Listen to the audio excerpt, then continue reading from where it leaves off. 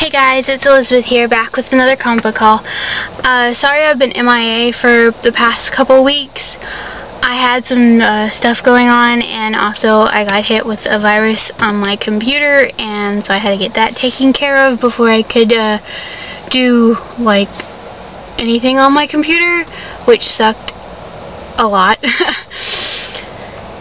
But I think I've got it settled now, so we'll see what happens when I try to upload this video. So if you're watching this, um, things are good with the computer. If you, this comes out way late, then I'm still having issues. But even though I didn't post any vid videos, I did get my books, but of the past two weeks, I only got three books. Uh, and then I got two books today. So I'm going to show you guys what I got. Um, I think they're in weekly order, I think. So first off is Batman Eternal, of course, number 29 with the really creepy cover. Or at least creepy to me. Um, and then Flash, number 35. I'm not caught up on Flash, I really have no idea what's going on. Um, Batman Eternal number 30.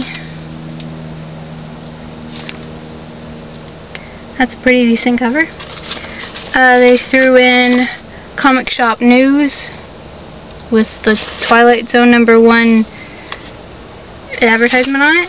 Um, Batman Eternal number 31. I'm not digging the art on this cover but it looks like Jim Gordon and Bane fighting together and in jail, I think. I don't know.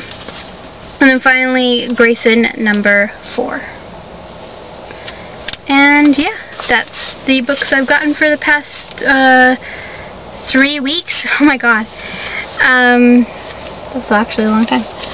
But it looks like that. And hopefully this video will upload and I'll have something on my channel um, so yeah, that's it. Thanks for watching. Bye.